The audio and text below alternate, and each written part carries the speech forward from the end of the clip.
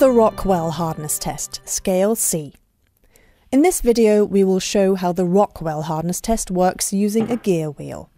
The basic idea of this test method is to measure the permanent depth of indentation of a hard indenter under a test force.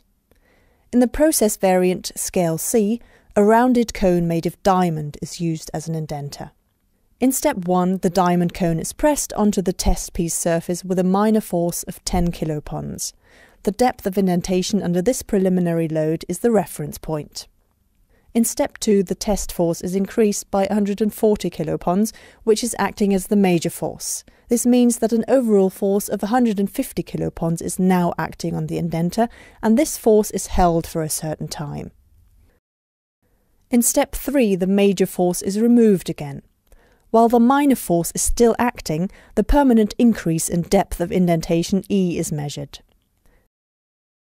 This is how the Rockwell hardness is calculated. Rockwell hardness HRC is equal to 0.2 minus permanent depth of indentation E in millimeters times 500. Let's take a look at how the test is carried out in practice. The tester selects the conical diamond indenter and installs it in the testing machine.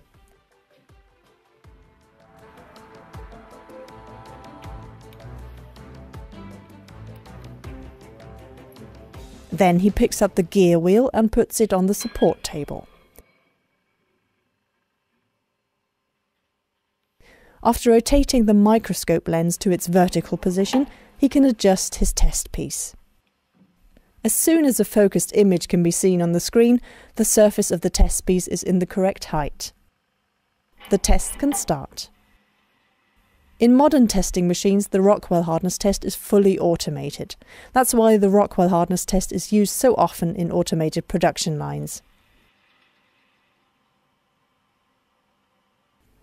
That's it. The Rockwell hardness of our gear wheel is 55 HRC.